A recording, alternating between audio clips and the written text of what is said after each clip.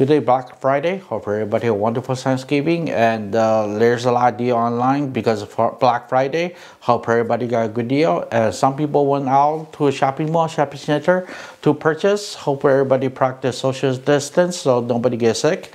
Uh, there's a lot of news on the election, but I don't talk about politics. So uh, there's a lot of topic I skipped, but I was looking on news and I saw some people have interesting items. In a helicopter pilot in, find a monolith in Utah, and uh, they think it's a similar type of uh, uh, monolith as a 2001 Space Odyssey, but look like it's man-made the black monolith in uh, 2001 Space Odyssey.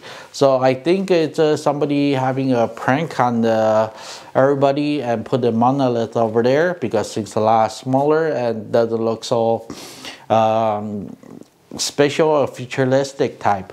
But with the topic is actually I'm very hopeful for future because with Elon Musk, uh, his space uh, adventure, uh, I think uh, we are going a step toward the future of a space age and I hope everybody can start looking to the future instead of looking at past and what past people did. And uh, I make a lot of difference because with uh, space, you open up a lot of more opportunity than what we have now. With the, past hundred years, there's millions of new different type of job opening up, and with space age, I believe we can open up a lot more different type of uh, the job opportunity. So space, we got a lot of different type of things, and you got a lot more. Uh, uh, different type of variety of stuff you can do. Instead just uh, on earth there's a limited stuff and we are exploring as much as we can. Even though we haven't even go to a depth of the ocean but with the space there's a lot more opportunity on it and there's a lot more uh, interesting going on. And I believe uh, with the Elon Musk and the NASA pushing forward I think we can do a really good job for the future.